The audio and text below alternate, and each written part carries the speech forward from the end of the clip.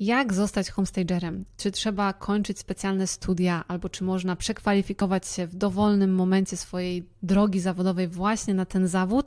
Bardzo często dostaję tego typu pytania, ale dzisiaj zamiast odpowiadać na nie sama, zaprosiłam do odpowiedzi do naszego podcastu Homestaging od kuchni Justynę Zaniewską z Just Homestaging.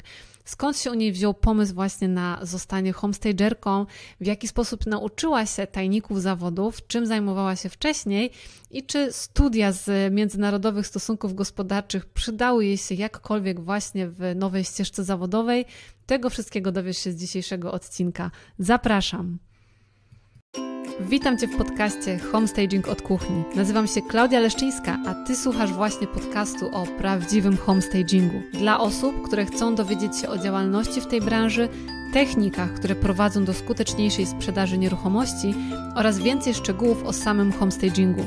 Jeśli interesuje Cię ta tematyka, koniecznie zasubskrybuj, aby nie przegapić branżowych nowości. Zapraszam! Moim gościem dzisiaj jest Justyna Zaniewska z Just Homestaging. Witam Cię bardzo serdecznie. Witam. E, I dziękuję za to, że zgodziłaś się opowiedzieć o swojej historii mm, z homestagingiem tak naprawdę. Jak Dosyć się... krótkiej na razie. ale mam nadzieję, ale że będzie bogatej w rezultaty. na pewno możecie zobaczyć też e, nasz odcinek z Justyną na YouTubie.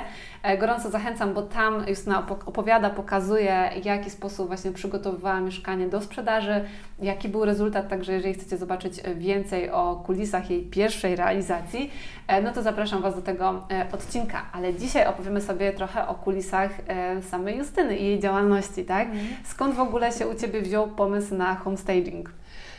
Wiesz co? Skąd się wziął pomysł na homestaging? Mm, od zawsze interesowałam się wnętrzami. Mm, czyli chyba taka historia każdego homestagera. Nie każdego. Nie? Nie, naprawdę? Ja nie. Naprawdę? Nie interesowałam no się ja, ja kochałam gotowanie. O kurczę, nie powiedziałabym. No, ja bardzo interesowałam się wnętrzami, od dziecka mi się w sumie to podobało. E, pamiętam jak już miałam swojego laptopa, jak e, mhm. dotarłam do takiego e, cudownego miejsca jak strona Ikei w internecie i tam oglądałam właśnie wszystkie, wszystkie meble, jakieś inspiracje i bardzo lubiłam zastanawiać się nad e, przemeblowaniem mieszkania rodziców, nad zmianami, które można by było mhm. wprowadzić. I to był taki chyba początek mojego interesowania się w ogóle po prostu wnętrzami. A homestaging, o homestagingu chyba usłyszałam pierwszy raz w telewizji, jakoś kilka lat temu. E, nawet bodajże rok temu mhm. mój kolega z pracy powiedział do mnie, Syna, ty powinnaś zająć się homestagingiem. I serio użył takich, y, takich słów. Ja mówię, dobra, Artur, tam daj spokój z tym homestagingiem, się nie, nie nadaje do tego na pewno. tak. Y, I co się wydarzyło dalej? Y, ostatecznie okazało się, że mamy mieszkanie, które, które, z którym trzeba by coś zrobić. Zaczęłam się zastanawiać, co. Mhm. E, I wtedy też, e, będąc e, tuż po porodzie, tak naprawdę, miałam sporo czasu na zastanawianie się. Wiadomo, opieka nad malutkim dzidziusiem wymaga uwagi, ale też, też myśli sobie tak. błądzą gdzieś, tak? Co, co teraz prawda. robić? na pewno wiesz. No i tak jakoś się pojawił ten, ten homestaging i stwierdziłam, że dobra, to mieszkanie będzie takim razem z mężem moim, który mnie gorąco do tego mhm. zachęca że po prostu y, zaczynam, działam, będę robić to. I się szkolić tak naprawdę. Okej, okay, czyli po prostu y, była potrzeba, trzeba było tak. zadziałać i tak. poszłaś w tą stronę. I to już mhm. po prostu zmotywowało mnie do tego, wiesz, bo gdybym pewnie nie, nie potrzebowała, to bym tam się zastanawiała jeszcze przez kilka najbliższych mhm. lat, a może, a może kiedyś zacznę projektować, a może urządzać wnętrze, a może dekorator, a tutaj się pojawiła taka e, dosyć prosta droga, tak? No bo już była wytyczona, trzeba było coś zrobić z mieszkaniem, które jest albo pod wynajem, albo na sprzedaż. No właśnie, ale to Ci, od razu poszłaś z grubej rury tak naprawdę, bo e, często jest tak, że ktoś sobie pomyśli, no to okej, okay, mam mieszkanie, to jakoś je zrobię, tak? Albo mm -hmm. popatrzę, jak robią inni, nie? I mm -hmm. na tym się kończy, mm -hmm. a Ty poszłaś od razu i w kurs homestagingowy i mhm. właśnie założyłaś tak. swój profil, także od razu, że tak powiem, wybuchnęłaś wręcz w internecie. Oj. No tak, eksplodowałaś. Ja pamiętam, że ja zobaczyłam Ciebie, gdzieś tam Twój profil, on mi się od razu rzucił w oczy, także to nie było coś takiego e, przypadkowego mhm. i od razu, e, od razu sobie zalekowałam, mówię, o, coś tu się będzie fajnego działo i miałam Super. rację, nie? Także... Super, już e, no. obserwowałam no. Cię od jakiegoś czasu ze swojego prywatnego konta, więc wiedziałam, co tam u Ciebie się dzieje i tak też trafiłam chyba na, na Twój kurs. Wcześniej skończyłam jeszcze jeden mhm. kurs homestagingu i tak płynnie z jednego przeszłam w drugi, bo stwierdziłam, że potrzebuję dużo, dużo, dużo, dużo wiedzy na ten temat. Nie będę startować z czymś, e, nie będąc tak wypakowana, e, wiesz, pokorek, że tak powiem, tą wiedzą, żeby Okej. nie popełnić błędu, o to mi chodziło, żeby wiedzieć jak najwięcej. Nie, że, że coś było za mało, tylko raczej pod tym względem, że mm, jestem perfekcjonistką, Mhm. więc potrzebuję wiedzieć dużo, dużo, dużo, dużo, dużo. Okej, których szczegółów szukałaś? W sensie, co Cię przekonało, żeby dalej jeszcze iść w, w kolejny kurs? E, ty mnie przekonałaś na webinarze. po prostu. Nie, stwierdziłam, że e, tak naprawdę chyba właśnie o tych automatyzacjach, jak mówiłaś, Mhm. bo mi się wydało to bardzo, e, że to będzie potrzebne dla mnie i że to jest przydatne do tego prowadzenia mm, takiego płynnego tego biznesu e, z każdego miejsca. Tak Okej. naprawdę, nie? E, I myślę, no kurczę, ta Klaudia mówi o tych automatyzacjach, ja muszę się, się o tym dowiedzieć, więc muszę... No i wtedy zadzwoniłam do mojego męża w ogóle i powiedziałam, kochanie, muszę chyba zrobić jeszcze jeden kurs. Na co on powiedział, no dobra, to kupuj. Nie no, fajna historia w ogóle. To jest też coś, co mnie zaskakuje e, i tak jeszcze jakby, jeżeli ktoś nas słucha pierwszy raz e, albo jest, ma z nami do czynienia, no to automatyzacja to jest jeden z modułów w moim kursie, który tak naprawdę w mojej głowie powstał jako bonus, jako coś dodatkowego, a Mhm. właśnie bardzo często spotykam się z tym, że to jest taki efekt wow, że o kurczę, tyle narzędzi, które jest wokół mnie mogę wykorzystać Mhm. w taki Tak, sposób. w ogóle, które no. są dostępne i który, których ja na co dzień używam, ale nie w taki sposób. Mhm, Po dokładnie. prostu, a Ty pokazujesz, y, jak tego użyć i jak to po prostu mega ułatwia pracę, porządkuje ją po prostu. A ja jestem bardzo uporządkowanym, Mhm. zorganizowanym człowiekiem, potrzebuję mieć wszystko każdy dzień w sumie zaplanowany. No, Co muszę kupić, jak idę na spacer z dzieckiem, to muszę zajść tu do piekarni, tu do apteki, to dokupić. Wszystko zawsze mam w notatniku wypisane, Mhm. żeby o czymś nie zapomnieć. No tak, ja też działam na listach, co prawda w telefonie, ale, ale Tak, jednak tak, jestem, tak, ja też odha- jestem telefonie. odhaczaczem, Mhm. więc No. jak jest do, to jest do, no i Tak, trzeba odhaczyć. Ale wracając do Twojej historii, bo żeśmy trochę odpłynęły, y, co Mhm. było jakby, no bo pojawiło się mieszkanie, ale co było wcześniej, jaka była Twoja droga, czym się zawodowo zajmowałaś? Mhm, zawodowo. E, studia, które skończyłam, może od tego zacznę, Mhm. to były międzynarodowe stosunki gospodarcze, Wydział Ekonomii, Uniwersytet. E, wspominam je dobrze, poznałam fajnych ludzi, ale to nie była chyba moja droga e, w ogóle. E, I tuż po studiach, w sumie tak naprawdę w dniu obrony, na obronę z moim już ówczesnym mężem pojechaliśmy wypakowanym jego autem moi, pod korek moimi rzeczami. E, obroniłam się, wsiedliśmy w auto i przyjechaliśmy do Warszawy, gdzie już miałam wcześniej, e, wcześniej e, ogarniętą pracę, miałam wcześniej rozmowę kwalifikacyjną Mhm. i była to praca w biurze architektonicznym. E, Co prawda jako asystentka po prostu e, do biura byłam potrzebna, żeby ogarniać e, administracyjne takie rzeczy, Mhm. tak? No ale gdzieś to pozwoliło, miałam kontakt już trochę z tym urządzeniem wnętrz, bo zawsze się przydało jakieś tam dodatkowe oko, żeby Trochę znaleźć jakieś też, nie? tak, Jak znaleźć, znaleźć jakieś rzeczy, jakieś meble, albo później już jakoś tak ten zakres moich obowiązków się powiększał, że też takie przygotowywanie tych budżetów całych tak do realizacji, załatwianie zamówień, tych wszystkich rzeczy typu płytki, podłogi, y, meble, nie meble, tak, no to, to takie już koordynowanie, więc tak się zagłębiałam w ten temat. Ale później zmieniłam e, pracę na, e, na pracę w korporacji, Mhm. w dziale marketingu. Tam zajęłam się, e, w sumie, w sumie zajmowałam się grafiką, ale też rozwijałam swoje kompetencje jako, e, jako marketing, marketera. marketer. Super. Czyli jakby Tak. byłaś e, trochę, e, trochę blisko tego projektowania, jednak nie tak bardzo w środku, ale jednak gdzieś Tak. tam około branżową powiedziałaś, że się gdzieś tam Tak, tak. I w międzyczasie też kupiliśmy mieszkanie, które właśnie wykończyłam Mhm. też sama. Mhm. I przygotowałam całą aranżację. Pomagała mi koleżanka oczywiście e, z biura, moja serdeczna przyjaciółka e, w takich e, typowo, jakby to powiedzieć, tych e, punktach. projektowych? Tak, Mhm. projektowych, że tu, a tu gniazdko powinno być, a tutaj nie może być Mhm. gniazdka. I wiadomo, to też wpły- wpłynęło na moją wiedzę, którą mam teraz z tego zakresu, bo już wiem, że czegoś tam nie można robić, Przydaje na coś się. trzeba zwrócić uwagę. Tak, a to pr- przed kładzeniem płytek y, trzeba jakąś y, hydro y, to Izolację. zrobić właśnie. No to tak, takich rzeczy nie wiemy tak naprawdę, jeśli nie ma się ukończonych albo specjalnych do tego mhm. studiów, kursów, e, albo się tego po prostu nie przejdzie remontu, jak tak. większość z nas podejrzewam, którzy sami urządzają pierwsze mieszkanie. I ostatnie od razu sami. To zależy. Ale nie, często jest tak, że tak. pierwsze urządzają sami, a i ostatnie w sensie, że Albo nawet razem biorą i już, już przy tym, w tym momencie kogoś, na kogoś się decydują, bo to się wydaje, że to jest takie proste, a to kompletnie nie jest no. proste. To jest Wszystko bardzo w szczegóły, nie? Tak, szczegóły, szczegóły są najważniejsze.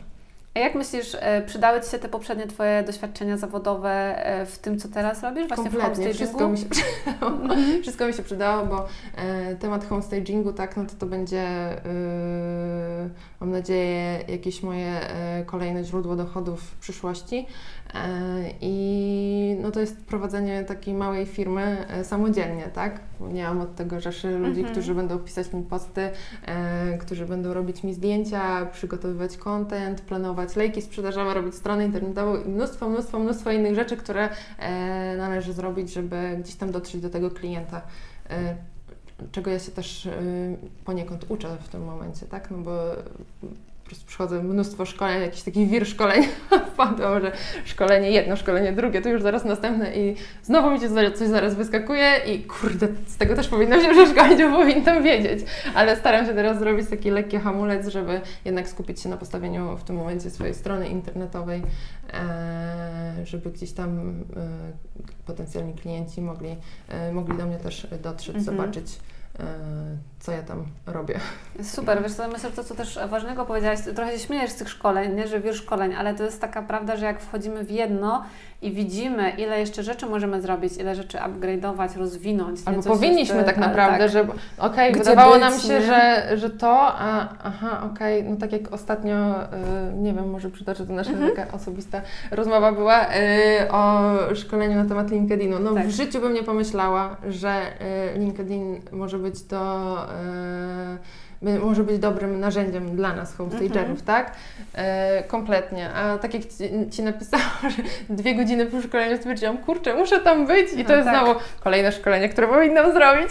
Ale słuchaj, ja miałam to samo, tak, że rozumiem Cię zupełnie, bo mówi się, że homestaging jest wizualny, no i jest wizualny, tak? I my wizualnie możemy naprawdę super dużo zadziałać, e, ale faktycznie powinniśmy być też tam, gdzie są Ci klienci biznesowi, więc tak, jakby dokładnie. jedno nie wyklucza drugiego, mhm, e, ale musimy też poznać specyfikę danego kanału i jakby to pokazuje właśnie to, że e, o wszystkim, znaczy o wszystkim, no jakby od każdej z tych rzeczy, żeby robić to dobrze, musimy czegoś się dowiedzieć, tak? I nie tylko faktu, że coś istnieje, nie? Bo nie powielimy Facebooka na LinkedInie, więc jakby tak. to znowu jakby jest coś, co nas pcha do rozwoju wiedzy.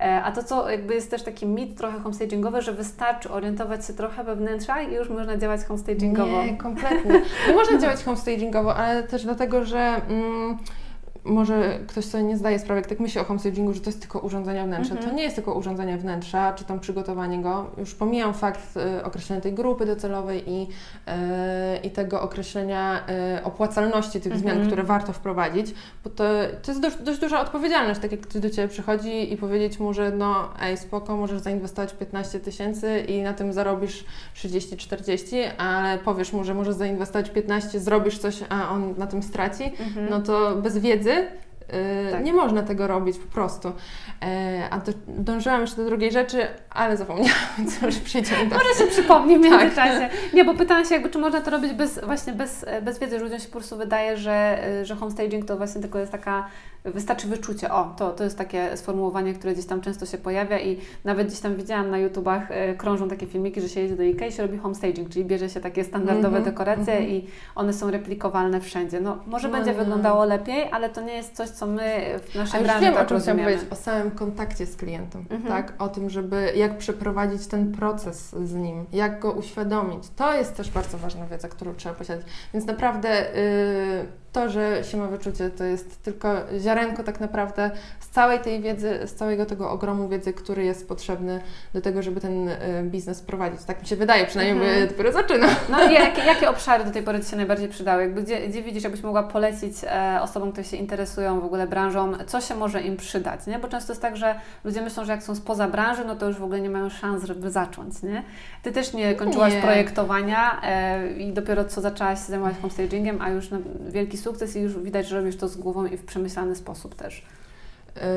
Y, mi się wydaje, że każdy z nas gdzieś ma tą swoją taką drogę, y, powiedzmy, wytyczoną mhm. Y, i wszystkie rzeczy, które robimy w życiu, prowadzą nas do tego konkretnego celu. I moim zdaniem każda moja praca, każda osoba, którą poznałam na swojej drodze, każda rzecz, którą zrobiłam, powiedzmy, zawodowo, ale też niezawodowo i prywatnie, doprowadziła do tego, do tego punktu. Bo na przykład bez mojego męża ja bym w to chyba raczej nie poszła nigdy, bo on mnie zagrzewał do tego i naprawdę zachęcił, że ej Justyna, dasz radę, zobacz, wszyscy przychodzą do nas do mieszkania i każdy mówi, że wow, jak super urządzone, nie?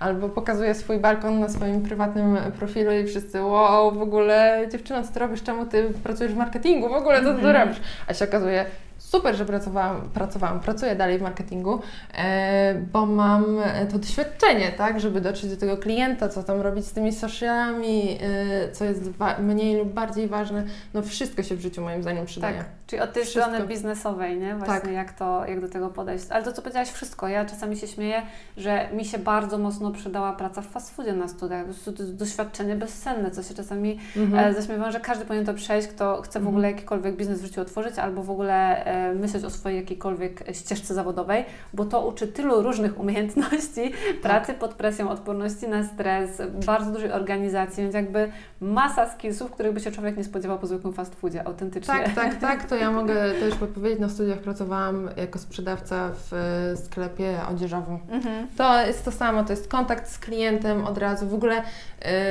ostatnio miałam takie przemyślenia, co ja w ogóle sobie myślałam, jak pracowałam w tym sklepie. W ogóle ja nie miałam takiego podejścia do klienta, jakie teraz wiem, jakie mm -hmm. powinno być. Nikt mnie tak naprawdę nie przeszkolił też do tego e, odpowiednio.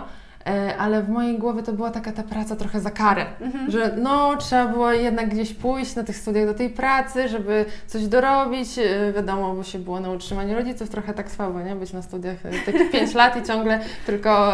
No teraz bardzo powszechny tato, model, ale wiesz...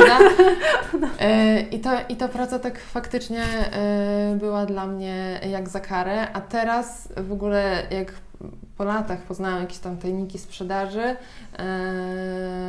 albo po szkoleniu u Basi dwa tygodnie temu e, chyba, no po prostu sprzedaż jest ważne, podejście do tego klienta jest bardzo ważne i to on jest najważniejszy, tak? Trzeba wiedzieć, po co to się robi, mhm. tak naprawdę. No tak, to co właśnie odnośnie Basi, bo, bo też może nie każdy teraz wie, bo mieliśmy też webinar z Basią Piasek mhm. właśnie dla naszych e, kursantów.